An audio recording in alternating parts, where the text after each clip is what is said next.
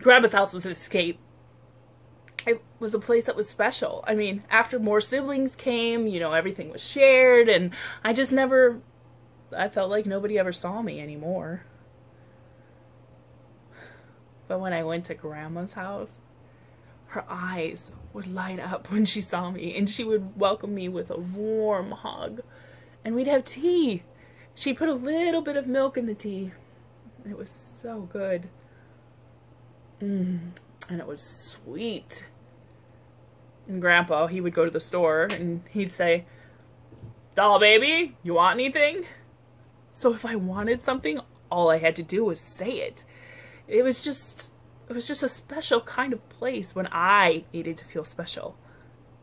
I was a picky eater. I didn't like most of anything, but Grandma, she would make these tuna fish. Just plain tuna fish the white kind, albacore, and mayonnaise. oh, she used a lot of mayonnaise.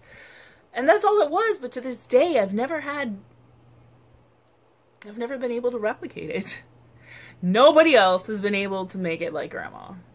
I loved her tuna fish. I didn't like cooked food most of the time, except maybe pizza.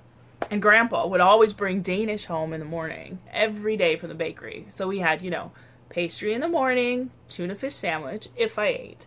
Because most of the time I didn't want to eat. So they would have me drink milk or fix me chocolate milk. Oh, another thing about grandma's house. You had to go to the bathroom every day. She would ask you, Doll baby, have you had a BM? See, I didn't know what she was talking about at first, so I'm like, no. So she would give me stuff like Phena which is gum. So I thought, oh, she'd give me some gum. Hmm, that stuff make you go bathroom. Or she would give me Ex-Lax, which is a little tiny piece of chocolate. Or, oh, Lord, don't let her give me the milk of magnesia. Whew. I finally got to the point where I would lie and say, yes, yes, I went. I went to the bathroom. Hmm.